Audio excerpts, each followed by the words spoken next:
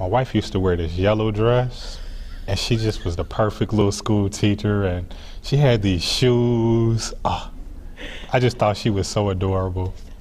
Um, I married my wife because she made me want to be something that she helped me to be something that I wanted to be in life.